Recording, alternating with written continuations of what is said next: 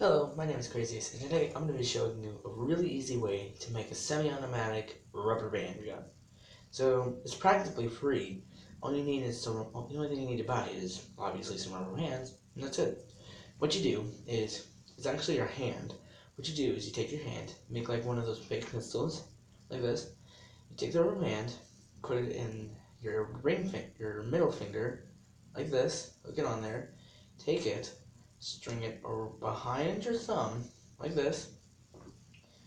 And then what you do is then you lead it around like this and then attach it to the end of this.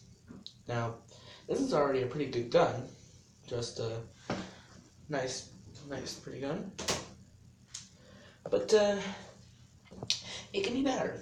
We can always make it better. So what you can do if you want to make it semi-automatic if you do this way, you have three shots.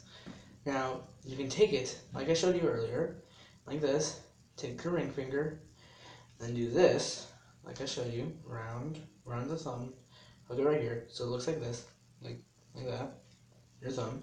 But then, you can also take a second rubber band, take your ring finger, and put it on your ring finger the same way, and feed it around. Now you have two shots, but we're not done there. You take a third rubber band, put it on your pinky finger, and do the same thing. Now you have three shots.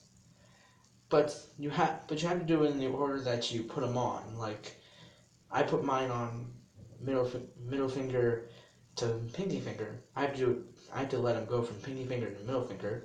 That way it goes. There you go. That was my semi-automatic rubber band gun that's practically free. If you liked it, please leave a like. Show this to other people. I'd really appreciate it. And thanks, thanks always. And I will see you guys in the next one. Bye!